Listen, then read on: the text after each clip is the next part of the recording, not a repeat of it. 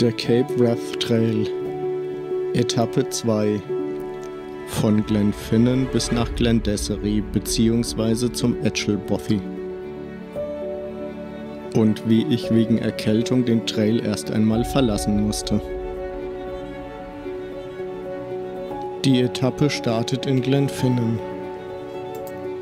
Man kommt an Corryhallie Bothy vorbei. Auf dem Beelage Alten Karain geht es durch das berühmte Türchen. In Alten Karain sollte man den Fluss möglichst schnell in Richtung rechtes Ufer überqueren. Weiter unten im Tal muss man sich links halten und nach einer Lücke im Zaun Ausschau halten. Danach geht es über eine Brücke in den Wald. Ich laufe nördlich des River Dessery weiter, wie es in der Harvey Map angegeben ist. Vor dem Etchelbothy muss ich den River Dessery an einer Furt überqueren.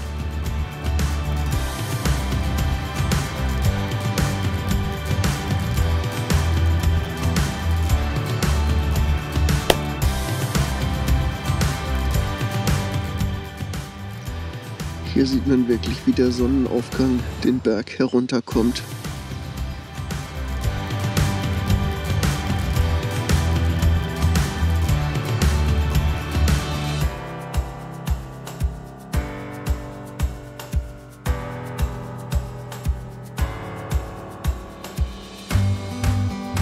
Ich lasse morgens im Café das Zelt immer noch ein wenig trocknen. Bei dem leichten Wind geht das Trocknen ziemlich schnell, besonders wenn man die Lüftungsschlitze auf ganz offen stellt und mit einem Lappen noch zwischen den Zeltwänden trocken wischt.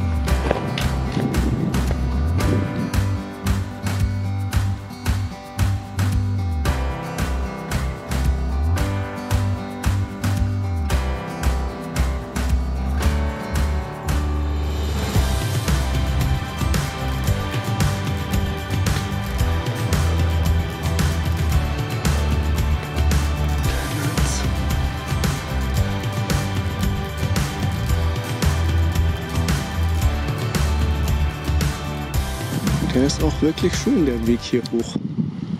So an dem rauschenden Bach entlang.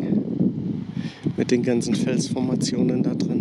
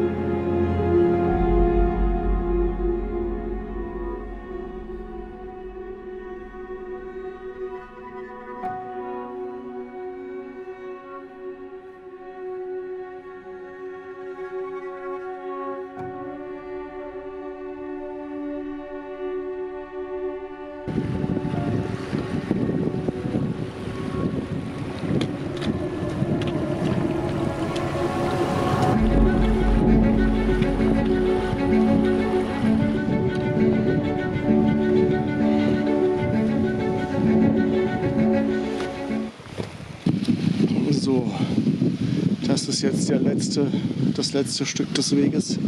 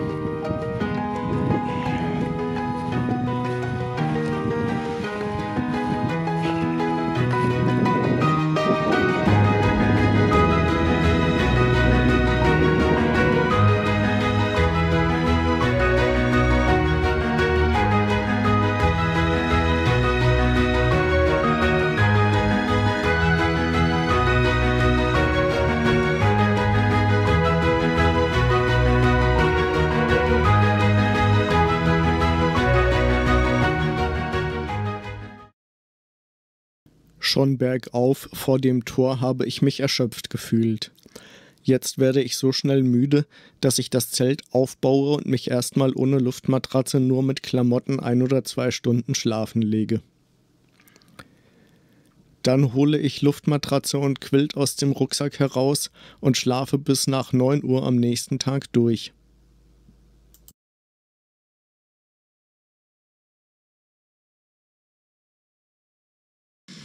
Als ich hier schnell mal den Zeltplatz bezogen habe, war mir irgendwie klar, dass ich voll die Erkältung habe.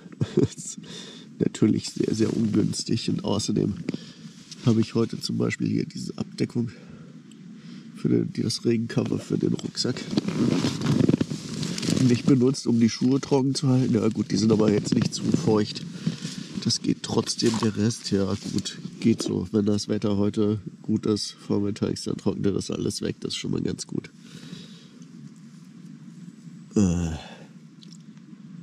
Anyway, also uh.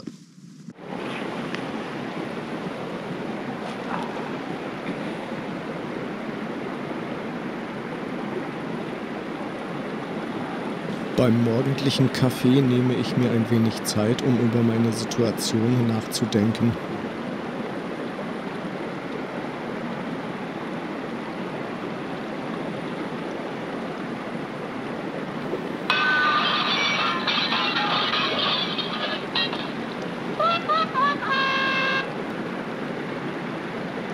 Ich hoffe, dass es mir bald wieder besser geht und beschließe erstmal bis zum Edgel Bothy weiterzugehen.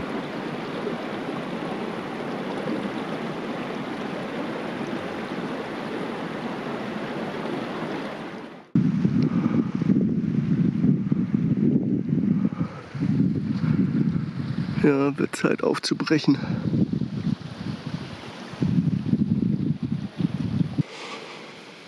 Da habe ich gecampt heute Nacht. Nacht.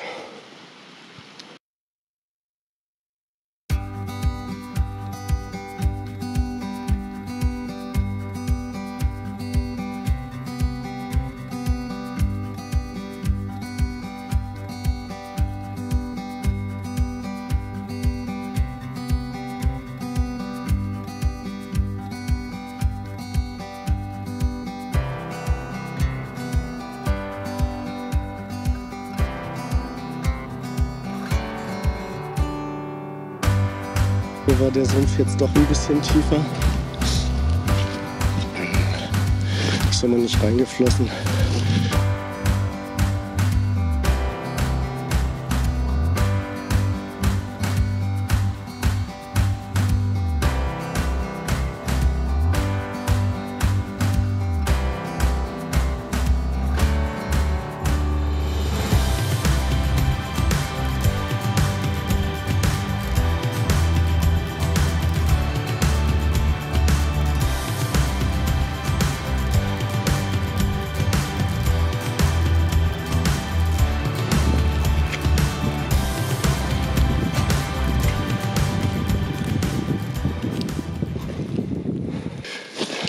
Hier ist das einfachere Ufer.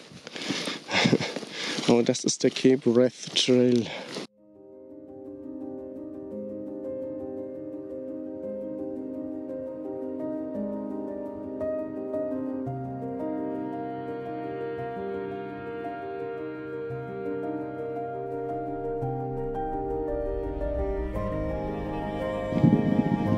Da hinten geht es rein zu Glendessery. Genial,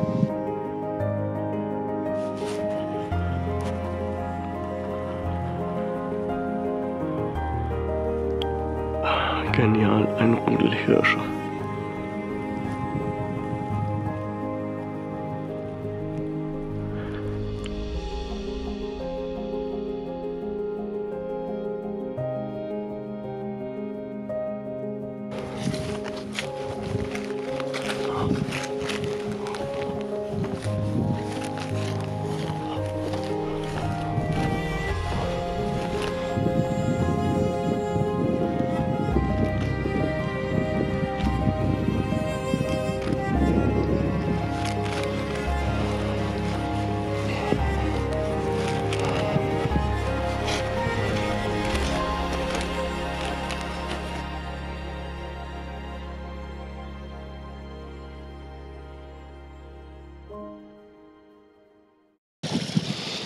Ja.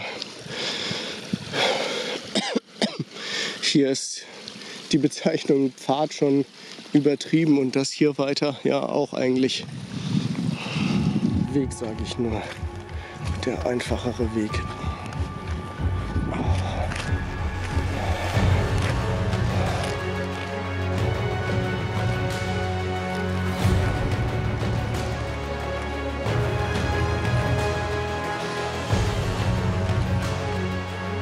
Ich auch gut rübergekommen. Ne, aber gut, da ist der Weg auch die ganze Zeit nur ein einziger Matschpfad.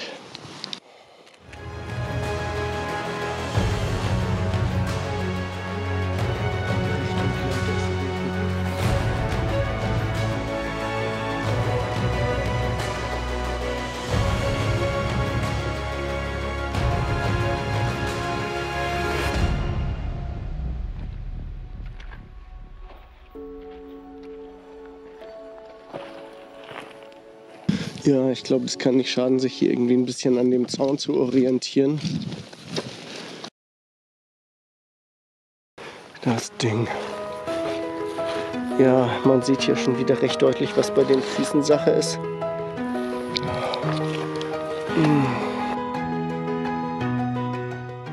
Hier geht es über eine Brücke in den Forest Dessery hinein.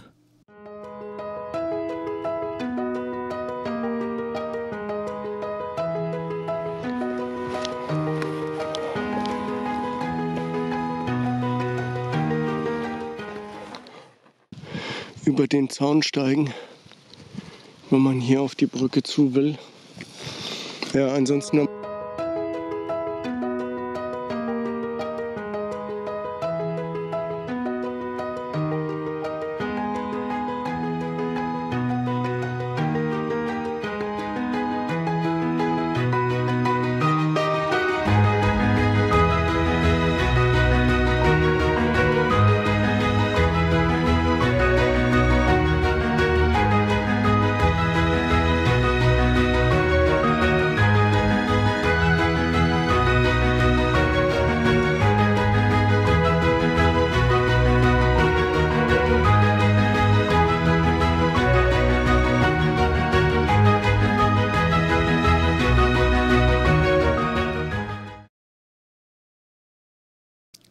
Hier hätte ich mich links halten müssen, um auf einem Weg zu bleiben.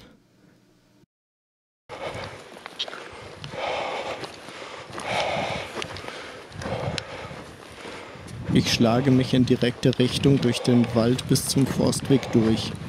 Das ist wesentlich anstrengender, aber geht auch.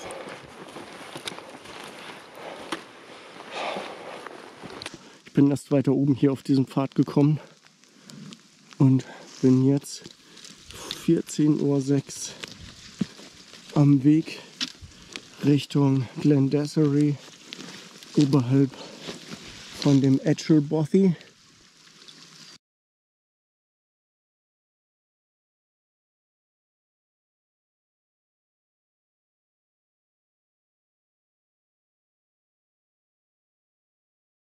Aber will jetzt heute lieber mal noch ein paar Kilometer machen, als mich da jetzt noch mal runter und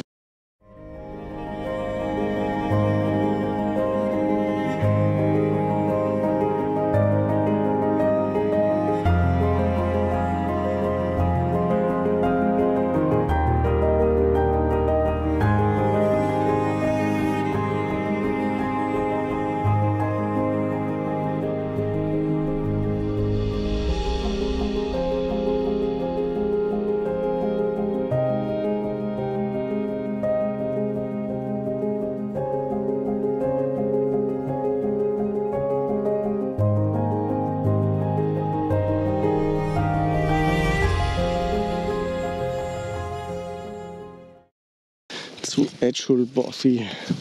Bei Regenwetter würde man das natürlich nicht machen, aber das sieht hier eigentlich ganz annehmlich aus. Eigentlich auch besser aus, aber da kann ich jetzt nicht drauf gehen. Das wäre das wär sonst nicht der Cape Raft Trail. So, links das Zelt aufgestellt haben, hatte ich jetzt auch fast gemacht, wenn die eine Stelle etwas besser zugänglich gewesen wäre. Aber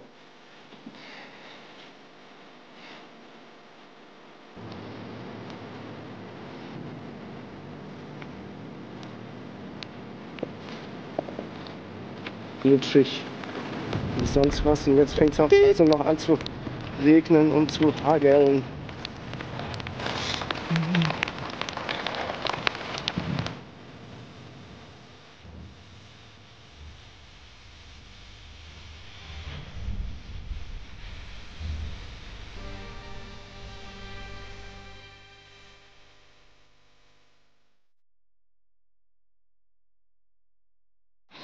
Petrol Bothy in Glendessery.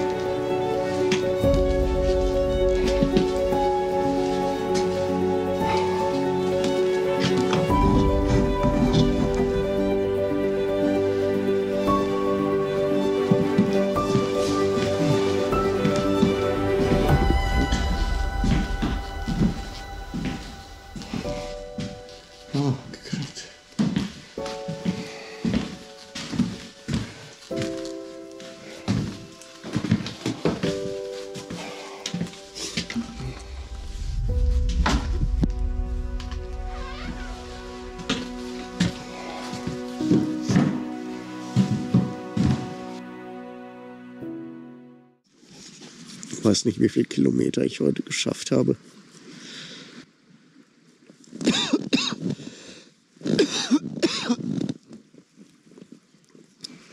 Aber auch nicht viel mehr. 10 oder 12 oder so.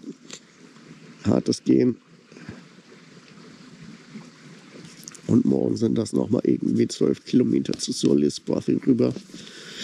Ja, soll mich auch nicht stören, wenn es dann da nicht besser geht.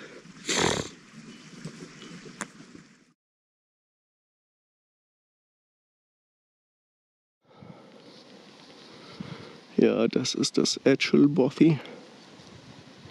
Nettes Ding. Vor allen Dingen, wenn es regnet und man drin sitzt beim Feuerchen. Wie wir gestern Abend. Aber ich bin dann auch früh so um 8 ins Bett gegangen. Da steht noch mein Zelt, das packe ich dann gleich zusammen. Gestern Abend waren hier auf dem Moor die Hirsche. In dem Raum habe ich gestern Abend mein Abendessen gemacht und auch heute Morgen den Kaffee. Und danach noch einen Tee. Und dafür habe ich den dann hier auch mal so ein bisschen vom Kamin, den Raum hier und da vorne bei der Stufe noch weg von außen noch von innen zumachen. Von innen.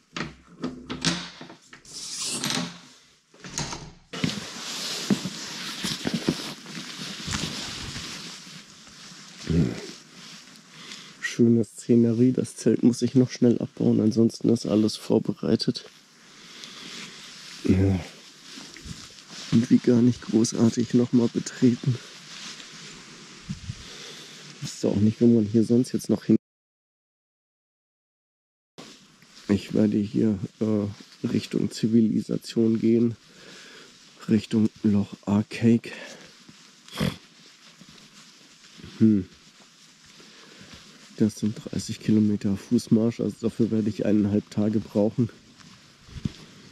Ich muss nochmal übernachten. Gut, das Essen dafür habe ich, aber vielleicht finde ich ja halt auch eine Mitfahrgelegenheit, wenn ich dann irgendwie zwei, drei Tage im Hotel mich aufgepäppelt habe. und resupplied habe, dann glaube ich, kann man das auch ganz gut hinkriegen. Ähm, ja, dass man sich hier, na, ist natürlich schon cool hier, dieses kleine Desiree.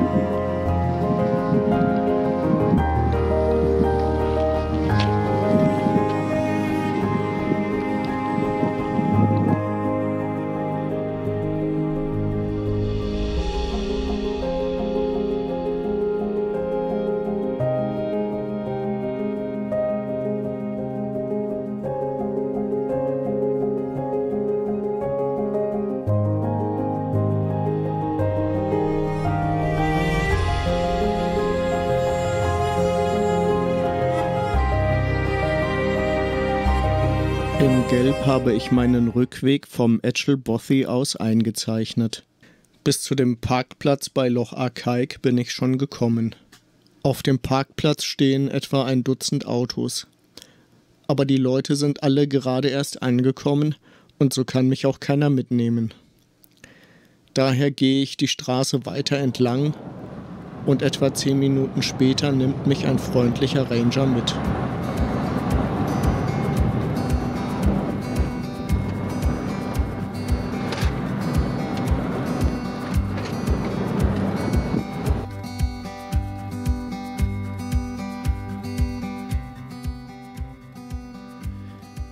Nach etwa einer halben Stunde Fahrt werde ich am Parkplatz des Commando Memorials nahe bei Speen Bridge abgesetzt.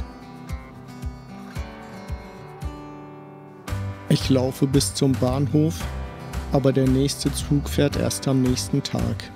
Das Restaurant im alten Bahnhofsgebäude hat auch noch nicht auf. Für einen verschwitzten Wanderer haben sie aber gerne ein Pint übrig. Mit meinem geschwollenen Hals bekomme ich das kaum herunter.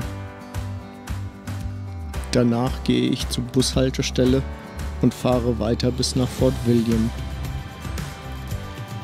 Dort kuriere ich mich erst einmal drei Tage aus und schicke auch einiges an Gepäck zurück nach Hause, um einen leichteren Rucksack zu haben.